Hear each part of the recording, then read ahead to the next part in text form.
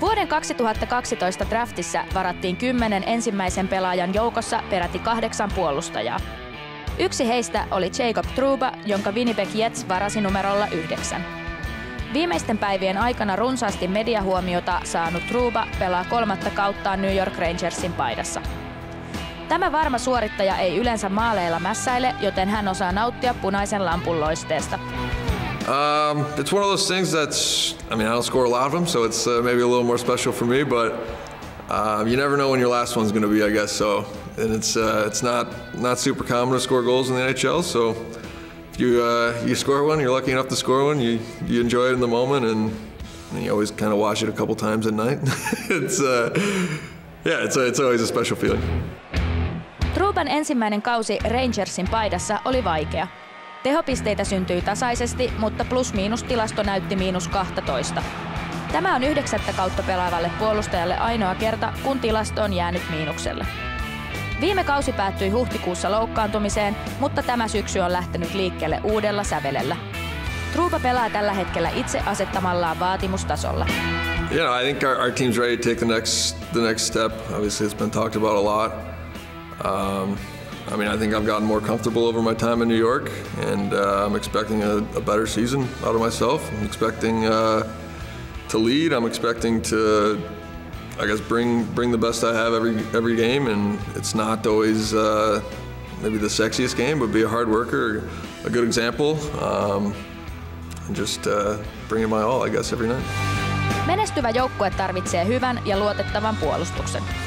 Sinipaitojen alkukausi on ollut loistava ja aiemmin tällä viikolla he tekivät uuden franchise-ennätyksen voittamalla 17 ottelua ensimmäisestä 24.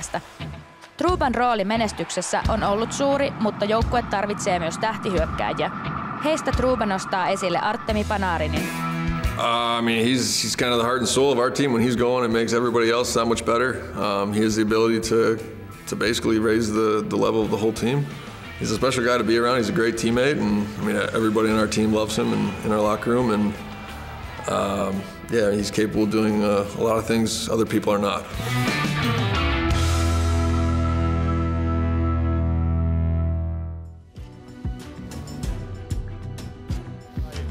Hän sai ison sopimuksen tuossa muutama kausi takaperin, kun oli Winnipeg Jetsissä pelannut 50 pinnan kauden, mutta sopiiko hänelle kenties paremmin olla se ei niin hyökkäävä pelaaja siellä Adam Foxin takana.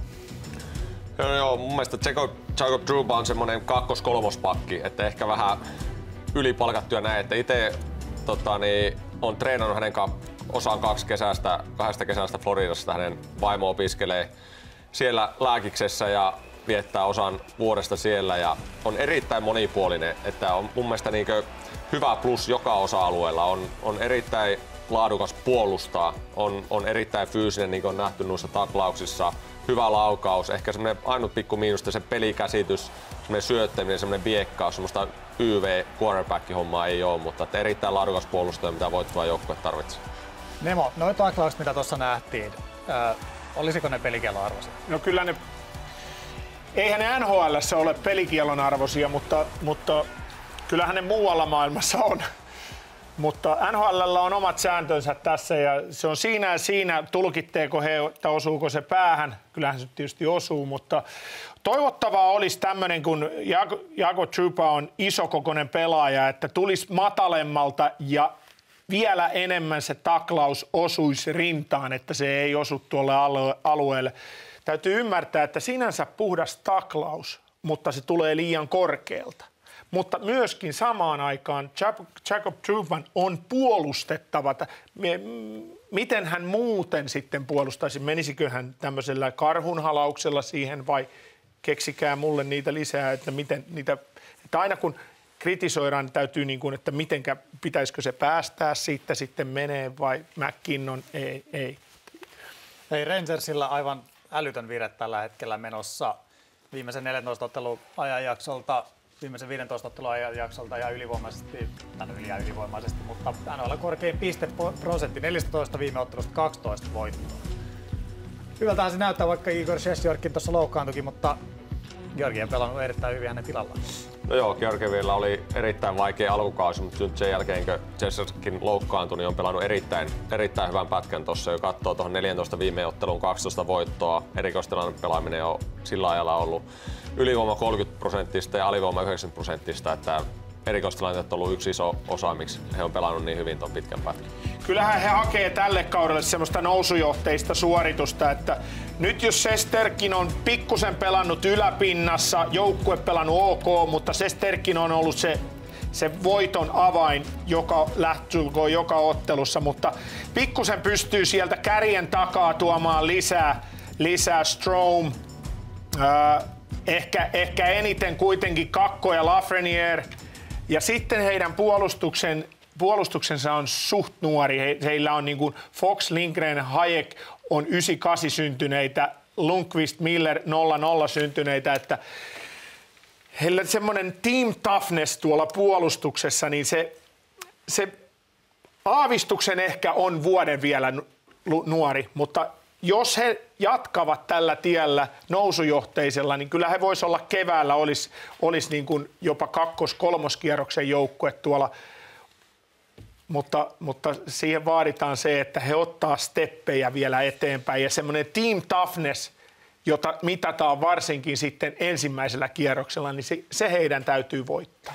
Rangers on yksi niistä joukkueista NHL, joka on aika rutkastikin näissä vaarallisten maalipaikkojen suhteessa alle 50 prosentissa. Ja silti voittoja kertyy tähän tahtiin, niin Onko se uhkakuvi vai onko tämä niinku hyvää niin. rakennusmaastoa, että voittoja tulee tällaisillakin statseilla? Niin, ainahan on oikea-aikainen, joku oikea-aikainen ratkaisu ja Sesterkin ja sitten oikea-aikaiset maalintekijät, mutta ennen kaikkea sun täytyy niinku katsoa positiivisesti sitä, että ei olla ihan maksimissa vielä. Että heillä on niinku kääntövaraa siinä ruuvissa vielä aika paljonkin. Ja uusi valmentaja Kalant siellä ja ja, ja toi on hyvä nyt, että tuo hyvä maalivahtipeli, hyvä erikoistunepeli on antanut heille niitä voittoja, että toivotaan, että pystyy, pystyy kehittämään sitä heidän peliä vielä viitta vastaan ja, ja, ja saamaan sitä parempaa moodia ennen, kuin, ennen kuin playoffit alkaa, niin tulee olemaan keväällä mielenkiintoinen joukko. Ja olihan se nimenomaan maalivahtipelin suhteen niin todella iso juttu, että Georgievikin saatiin nyt vauhtiin, koska alkukaudesta se torjuntaprosentti oli siellä 85 tuntumassa ja nyt se tämä viimeisimmät neljä peliä, niin se on 95. No just näin, että, että varmasti koko joukko ja Georgiev itsekin myös varmasti siinä, kun Sesterkin loukkaantunut, että, että mitä hän nyt tapahtuu, niin antaa, antaa itse luottamusta hänelle itselle ja joukkueelle, että pystyy näyttämään, että pystyy voittamaan tiukkaa pelejä ja ottaa niitä voittavia koppeja.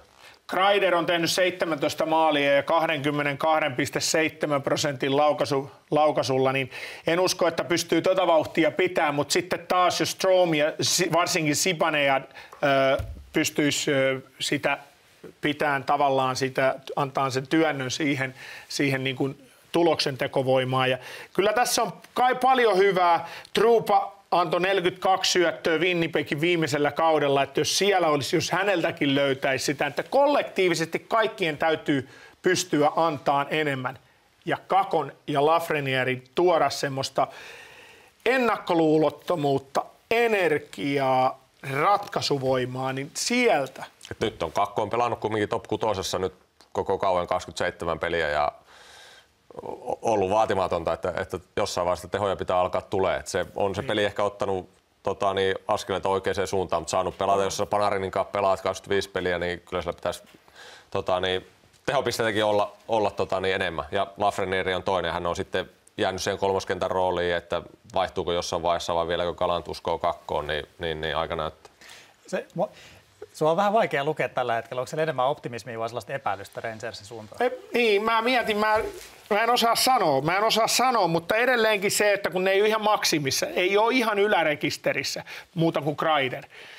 Mä en ole, en, se, tämä on niinku hyvä, mutta kun, jos, kun tuo Metropolitan on niin järkyttävän kova lohko, että heidän täytyy myös pelata yläpinnassa tuolla idän, idän divisioonissa – Eli katsotaan taas sitten 41 ottelun no, rajapyykissä, niin, niin. että missä mennään.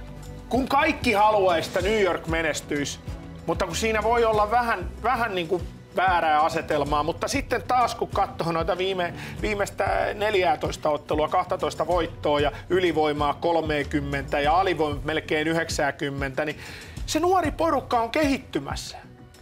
Entä sitten Jusa vielä kiteytä, että onko sulla enemmän optimismia vai epäilystä? No kyllä mulla on optimismia, että siellä on, mä näen, että siinä Kakossa ja Lafreniereissa ne on niin korkeita varauksia, siellä on iso potentiaali. Pääsit siihen Panarinin vierelle, niin kyllä jompikumpi niistä alkaa kohta laittaa kiekkoa, kiekkoa pussiin vielä kovemmalla, kovemmalla teholla. Ja mun siellä on, mitä Nemo sanoi, siellä on nuoria pak, pakkeja, että, jo, että niiden pitää pystyä pelaamaan sitten keväällä hyvin, että onko, tuleeko tämä vuosi. Mutta että se voi olla, että jos nyt pääsis vaikka toka keikalle, se taas antaa sitä kokemusta ja ehkä sitten seuraavana vuonna oltaisiin taas, taas parempia. Mutta että on semmoinen musta hevonen, kevään musta hevonen.